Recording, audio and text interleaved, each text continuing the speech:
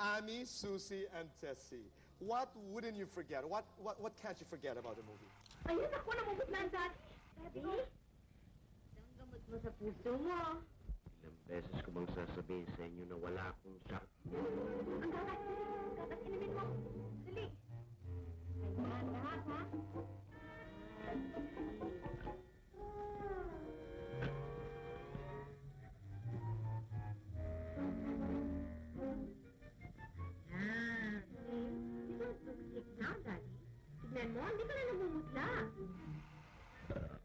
Well, as a child, I was a great fan of Roberta. Very much of Tessie Agana. All the Tessie Agana movies I would watch. So it was uh, exciting uh, when we were told that we were going to do a movie with Tessie Agana as a teenager now.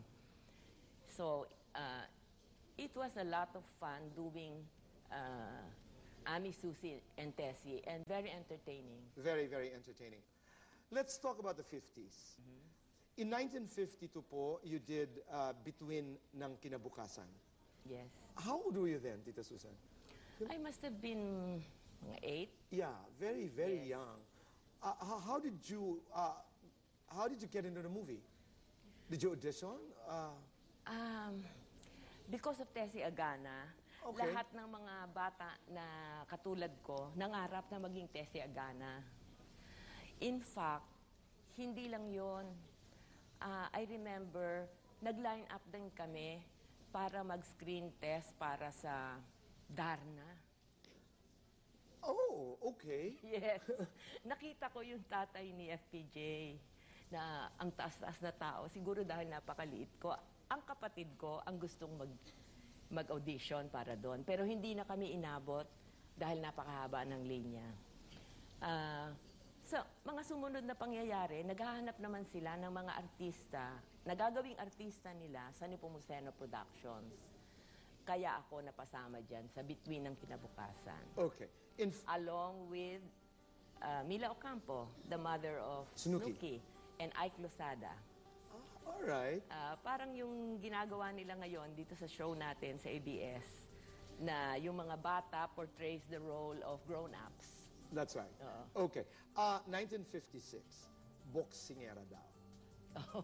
Tell us a story and tell us a story in relations to Miss Tilapia. Kasi may kwento dito eh, Yes. ang uh, boxingera. Lalabas ako ng Maynila. Tinitiyak kong pinaghahanap ako ng mga pulis. Kung gayon ay tayo ng lahat ang umalis dito. Lumalaon ay lumulupit ang mga hapon. Kaya ang mabuti pa ay sama-sama na tayong magbalik sa probinsya. Nagkasan tayo kukunan sa kasyasan itong oras ng gabi. Pahala na. Basta kailangan makaalis tayo ngayon din kung mga nganit din ang buhay ni. Anyway, fresh from high school, that was in the month of June, andito ako sa Maynila, kagagaling ko sa Negros, uh, to enroll in uh, some school here in Manila. Nabalitaan namin na merong open house ang Sampaguita Studios at uh, andun daw mga artista. So, sinamahan naman ako nung auntie ko na ah, lumalabas-labas na rin sa pelikula noon. Pero short-lived yung career niya. Si Tessie, ang pangalan niya, Tessie Alaba. Nanonood-nood kami ng, ah, ito pala ang studio, ito pala yung napapanood natin na sa pelikula. Tapos, ay, si Gloria Romero. Nagpa-autograph ako. You were a fan of I Tita was Gloria. a fan of Gloria Romero. So, nagpa-autograph ako. Tapos, biglang may lumapit sa akin na isang malaking mama, may bigote. Sabi niya, ah, fan ka ni Gloria? Opo. Ah, ano, ano, trying to make small talk. Na, later, pinag-isip-isip ko, sabi ko, sino ba ito? Bakit ako Ini-interview. tanong ng tanong? Baka naman he's trying to make a pass. No? Baka ito yung mga naririnig kong sinasabi nila tungkol sa mga character actors. Right. Na ganon. Ah, tapos sabi, gusto mong mag-artista. Siyempre, ang tingin ko sa kanya, bu- binubola niya ako. Sabi naman ng auntie ko, producer yan. Si Dr. Perez yan. Tinatanong kung gusto mo mag-artista.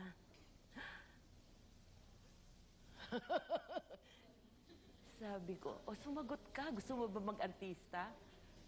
Eh talaga namang mahilig akong mag-artista. At ang iyong sagot Dahil po? pala, panay ang labas ko sa aming eskwelahan sa stage. Sabi ko, opo. And besides, you wanted to be Tessie Agana. Pumunta ka sa ano, address nila, sa bahay nila, at mag-screen test ka bukas. So pumunta naman kami, nag, ah, nagintay kami alas 7, tulog pa yata lahat dun sa bahay na yon. Merong lumabas na ale na naka-duster, na napapanood ko naman, ay si Aling Aring Bautista. Sabi niya, oh, anong may kailangan kayo? Ay, alas 7 ng umaga, napakaaga naman para maging bisita, no? Kasama ko yung uncle ko naman, kapatid ng nanay ko. Ah, eh, mag-i-screen test ho siya. Pinapunta siya dito. Ang tingin sa akin ni Aling Aring from head to toe. Ay naku, marami ng artista dito. Kapipirma lang nga ni Mr. and Miss Number One. At saka, meron na kaming Audrey Hepburn. Okay. Referring to Amalia and Gloria and and Barbara. Iha, doon ka na lang sa LBN. Pumunta. Kulang pa sila ng artista doon. Eh di, hindi lang ako kumibo. No? Tama-tama, umalis naman siya. Wala naman siyang masamang ibig sabihin. Friendly advice niya yun. Correct. Anyway, ah, sabi naman ng uncle ko, oh, eh pinapunta tayo dito, eh di, hintayin natin kung anong ano. Eh, dumating naman si Mar Torres. Ah, kayo ba yung mag screen test? Tayo na. At ah, sumabay na kayo sa aking sasakyan. So, later on, I found out, pagbaba ni Dr. Perez, palinga-linga siya, tinanong kay Aling Aring, ah, meron ba nagpunta dito? Sabi naman ni Aling Aring, ay oo, pero sabi ko, marami na tayong artista. Punta na lang sa LBN. yung pala, pinagalitan siya. At Dr. Perez had something else in mind. Oh, balik naman tayo sa screen test. Malayo. Kasi ang set pala, dun sa Rodora. Meron silang ginagawang pelikula, Rodora, si Mar Torres ang direktor. So, dun ako mag screen test. Naku, ang setting bahay kubo. Una, kunyari nagtitelepono ako para lang madinig yung boses ko. Eh, yung pala ang dating ng boses ko masyadong manipis. okay. Matini- matinis. Alright. Later, pinagbihis ako. Kunyari, nasa ilalim naman daw ako ng puno. No? Yung mga maalaala mo type.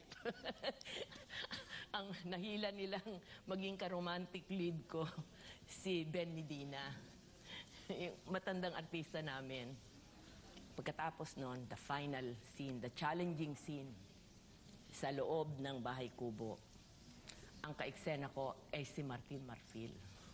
Martin Marfil, doon sa mga hindi nakakaalam,